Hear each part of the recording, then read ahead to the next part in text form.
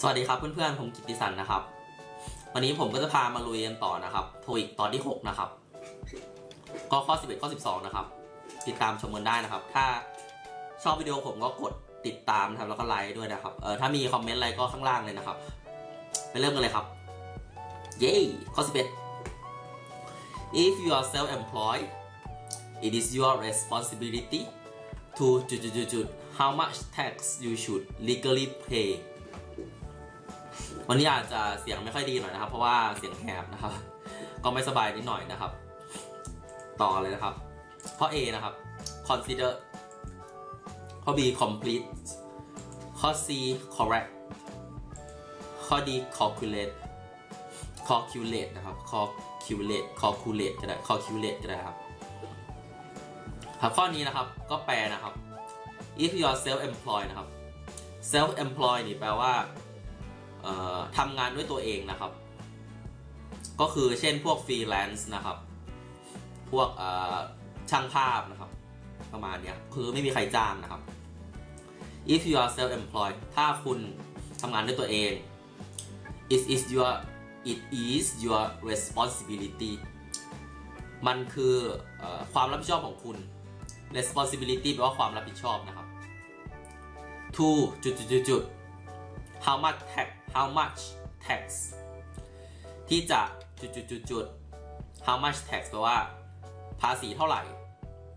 you should legally pay นะครับ คุณควรจะจ่ายตามกฎหมายนะครับ ถ้ามี legally ครับ pay นะครับ legal นี่แปลว่ากฎหมายนะครับ legally ใส่เข้าไปเพื่อที่จะไปขยาย pay นะครับ legally แปลว่าเป็น adverb นะครับ ข้อนี้ตอบดีนะครับ เดี๋ยวผมผมทำ เนี่ยครับนี่ครับ legally นะครับ legally นี่ legal ปกตินะครับ L E G A L แปลว่ากฎหมายนะครับ ถ้าเราใส่ L Y ไป legally นะครับ แปลว่า ตามกฎหมายนะครับ ก็คือจ่ายแบบตามกฎหมายนะครับนะครับ ก็แปลว่า มันคือความรับผิดชอบของคุณที่จะจุดจุดจุดจุดจุดว่าคุณจะจ่ายภาษีเท่าไหร่ตามกฎหมายนะครับ ข้อ A นะครับ แปลว่า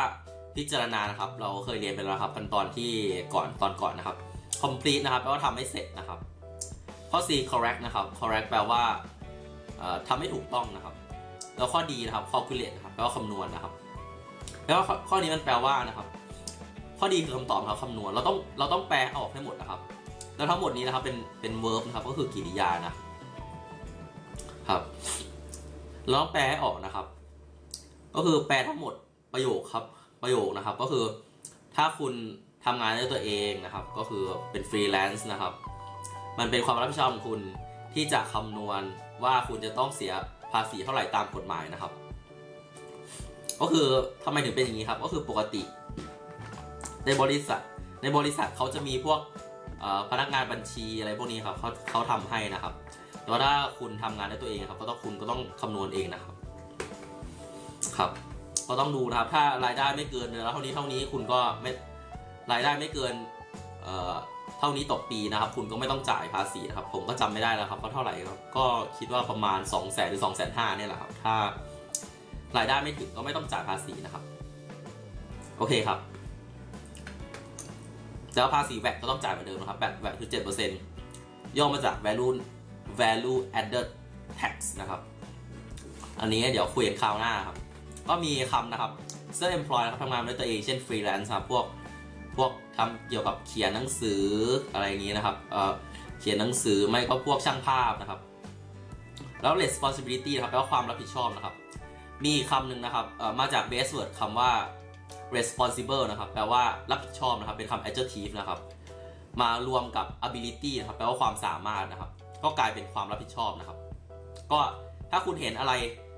bility bility เนี่ยครับแปลว่าเป็นคำนามทั้งหมดนะครับ bility bility นะครับก็เป็นคำนามทั้งหมดนะครับครับ แล้วก็ต่อไปก็ legally pay นะครับ legally pay นะครับก็ legally นี่ก็ใช้ได้หลายอย่างนะครับคือตามกฎหมายครับ เช่นนะครับ are you legally married แปลว่า พวกคุณอะพวกคุณอะ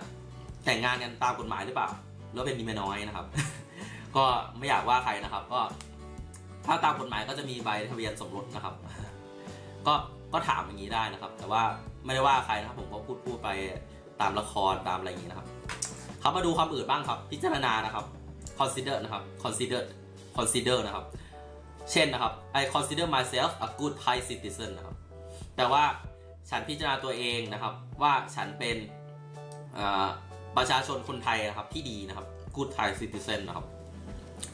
citizen แปลประชาชนนะครับ myself แปลว่าตัวเองนะครับก็วันนี้ก็ต้องกิน Strepsils นะครับ เพราะว่าเจ็บคอนะครับเห็นนะครับ ก็คำต่อไปนะครับ complete นะครับแปลว่าทำให้เสร็จนะครับ เช่นนะครับ you must com you must complete the given task by today นะครับแปลว่าคุณต้อง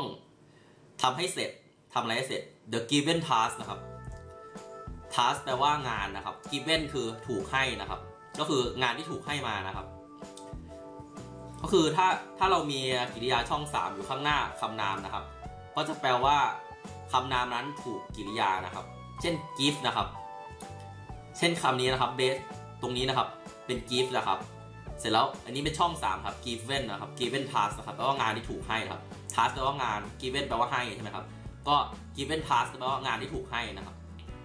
ครับ by today ก่อนวันนี้นะครับ ก่อนวันนี้หมดนะครับแปลว่า you must complete the given task by today คุณต้องทำงานที่ถูกให้มาให้เสร็จภายในวันนี้นะครับ ครับคำต่อไปครับ correct ครับ correct คือแก้ให้ถูกนะครับ เช่น religions help to correct wrongdoings of people นะครับ religion แปลว่าศาสนานะครับ ก็เติม s เข้าไปก็หลายศาสนานะครับ หลายๆศาสนานะครับ help to นะครับ ช่วยให้นะครับ ช่วยช่วยยังไงนะครับ ช่วย help to correct นะครับ ก็ช่วยแก้ให้ถูกนะครับ แก้อะไรให้ถูกนะครับ ก็ wrongdoings of people wrongdoing แปลว่าการกระทำที่ไม่ดีนะครับ การกระทำที่ไม่ดีก็ wrong แปลว่าผิดใช่ไหมครับ doing แปลว่าการกระทำใช่ไหมครับ ที่มันเป็นคำคำหนึ่งเลยครับ เรามาใช้นี้ได้ครับ wrong doing แปลว่าการกระทำผิดที่ผิดนะครับ of people ของผู้คนนะครับ ก็ศาสนาช่วยที่ช่วยแก้การกระทำ ที่ผิดของคนให้ถูกได้นะครับก็แปลหมดทั้งหมดประโยคนี้ครับ ถ้าไม่เข้าใจก็ลองฟังผมดูอีกทีนะครับ ก็อาจจะเข้าใจมากขึ้นนะครับ สู้ๆครับ ต่อไปนะครับ ข้อ 12 นะครับ ข้อแรกผมก็จัดไปแล้ว7นาทีนะครับ ก็ขอโทษด้วยครับ ถ้ายาวเกินไปก็คอมเมนต์ข้างล่างนะครับ ผมจะได้เปลี่ยนเป็นตอนละตอนละตอนละข้อครับ ข้อ 12 นะครับ If you want my honest opinion I thought the play was จุดจุดจุดจุดจุดจุดนะครับ ข้อ A little little นะครับ little นะครับ little นะครับ li นะครับ ไม่ต้องมี t นะครับ lit ไม่ใช่ lit นะครับ เป็น little นะครับ เพราะถ้ามี t ปกติถ้ามีตัวอะไรตาม 2 ตัวนะครับ พยางค์แรกนะครับ เราจะไม่มีตัวสะกดนะครับ ก็คือเราจะไม่อ่าน t นะครับ ถ้ามีตัวอะไรตาม 2 ตัวแบบนี้นะครับ ข้อ B นะครับ dust ถ้ามี st ข้างหลังครับ ก็จะเป็นนะครับ เหมือน first นะครับ ถ้าอ่านให้ถูกก็จะเป็น dust นะครับ ก็มี st ครับนะครับ ข้อ C นะครับ waste อันนี้ก็ st เหมือนกันนะครับ แต่ว่ามี e ข้างหลังเราไม่ต้องนับครับก็อ่านว่า waste ได้นะครับ ข้อ D ครับ rubbish นะครับ rubbish นะครับ ทุกคำนี้มีความหมายเหมือนกัน คล้ายๆกันนะครับ แปลว่าขยะนะครับ แต่ว่ามันใช้ในต่างกัน มันใช้ต่างกันคนละอย่างเลยนะครับ ลองไปดูนะครับ ในข้อนี้นะครับ เราต้องรู้ว่าเราต้องใช้อันไหนครับ เพราะว่าไม่ยากครับข้อนี้ ดูรูปประโยคนะครับ I thought ฉันคิดว่า the play was จุดจุดจุดจุด the play นะครับ play แปลว่าการแสดงนะครับ แล้วตามคำนามใช่ไหมประธานนะครับ the play ตามด้วย verb to be นะครับ was were หรือว่า uh, is am I นะครับ แล้วก็ จุดจุดจุดจุดเลยแล้วก็จบแปลว่าอะไรเป็นได้ 2 อย่างครับ อย่างแรกคือเป็น adjective นะครับ ก็คือ adjective นะครับ อย่างที่2ก็คือเป็น passive voice นะครับ เป็น passive voice นะครับ ก็คือเป็นกริยาช่อง 3 นะครับ มีอย่างที่3ด้วยครับ ก็คือกริยาเติม ing นะครับ ก็คือกำลังทำอยู่นะครับ แต่ในที่นี้นะครับ ดูแล้วนะครับ ทุกคำนี่ครับ คำแรกเป็นคำนามคำที่สองเป็นคำนามคำที่สามเป็นคำนามครับคำที่สี่ก็เป็นคำนามเหมือนกันนะครับ แต่คำที่สี่นะครับ มีการใช้หลายแบบนะครับการใช้อีกแบบหนึ่งได้นะครับ เพราะว่ามันเติมข้างหลังด้วย ish นะครับ ish นะครับ ซึ่งมันใช้เป็น adjective ได้นะครับ เพราะฉะนั้นคำข้อนี้ครับตอบดีนะครับ มาดูนะครับ ความรู้ต่างๆนะครับคำนะครับคำแรกครับ honest นะครับ honest นะครับ honest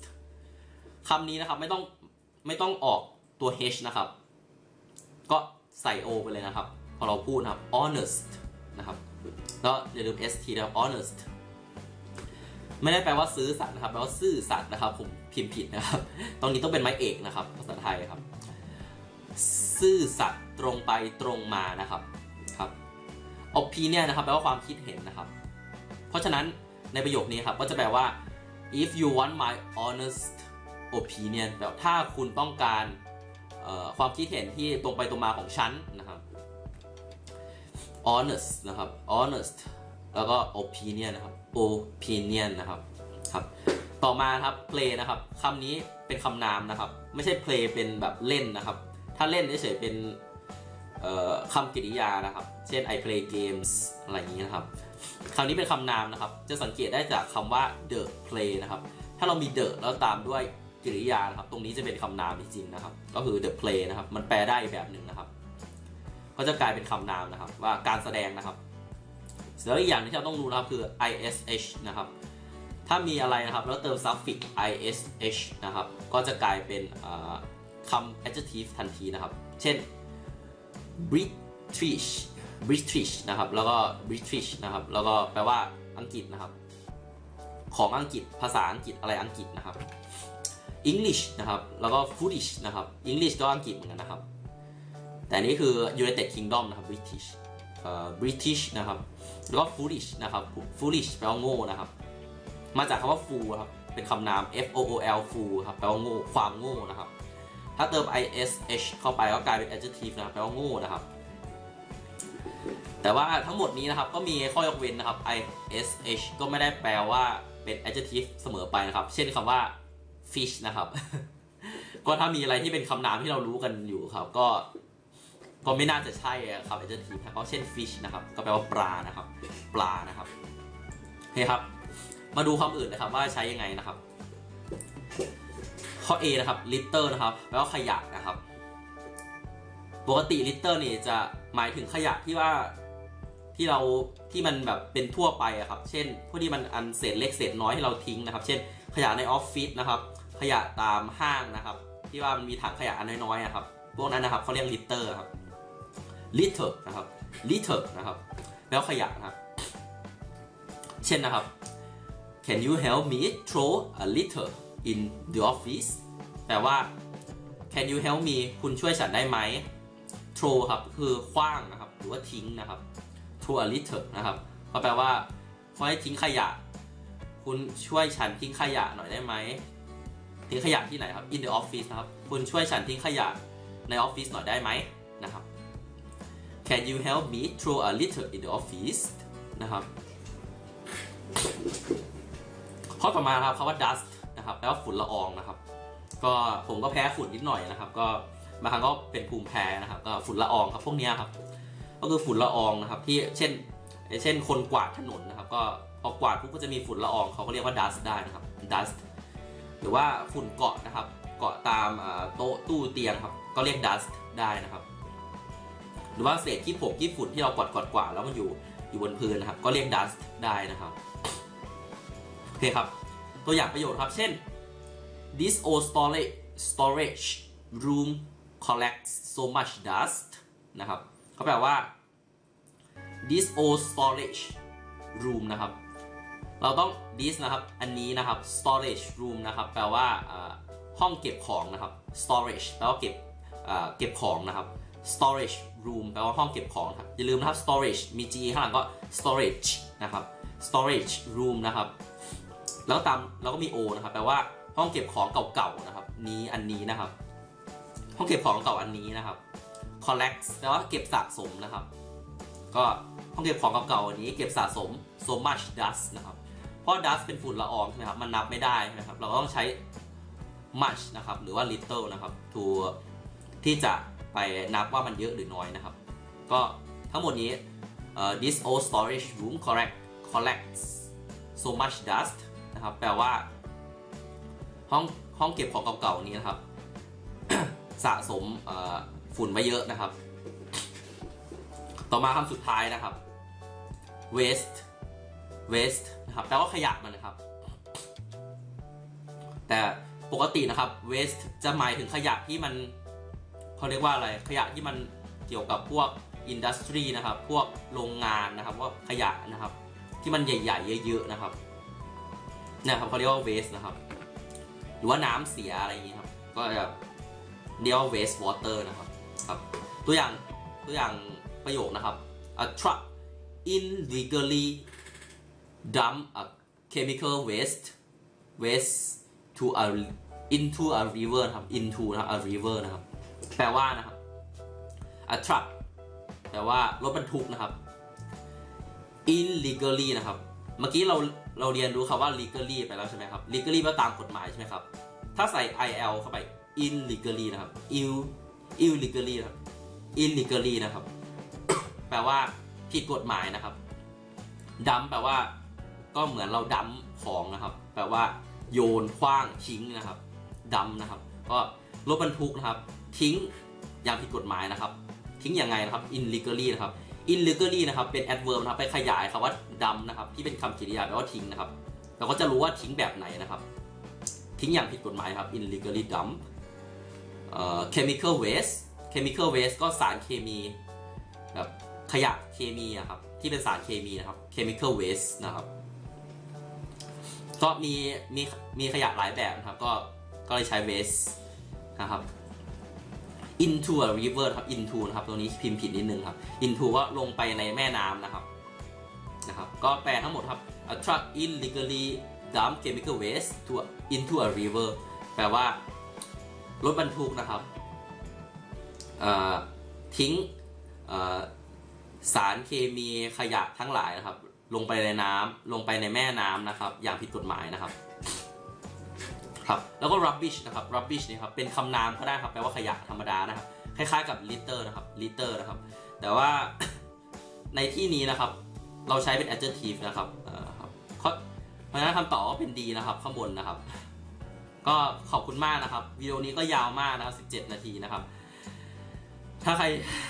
ถ้าใครคิดว่าผมควรจะ ผมควรจะย่อให้มันเหลือครึ่งหนึ่งครับว่าก็ข้อละ1วิดีโอนะครับ ก็พิมพ์คอมเมนต์ได้ข้างล่างนะครับ ถ้าคิดว่าอันนี้ดีแล้วนะครับว่าผมอธิบายช้าไปยังไงก็คอมเมนต์ข้างล่างนะครับ ผมก็จะมีลิงก์นะครับให้ดูด้วยนะครับว่าเออลิงก์ของ playlist นะครับที่ผมเคยทำนะครับ ตั้งแต่ตอนแรกครับมาถึงตอนที่ ตอนที่ 6 นี้นะครับ ข้างล่างครับใน description นะครับ ถ้าชอบก็กดไลค์กับแชร์กับเพื่อนนะครับเรียนรู้ภาษาอังกฤษด้วยกันนะครับ จะทำให้เรียนรู้เร็วกว่านะครับ เพราะว่าบางอย่างนะครับเพื่อนรู้นะครับ เราไม่รู้บางอย่างเรารู้เพื่อนไม่รู้นะครับ ก็ขอบคุณมากครับที่ชมนะครับ แล้วก็เจอกันใหม่นะครับ and I will see you again in the next video bye bye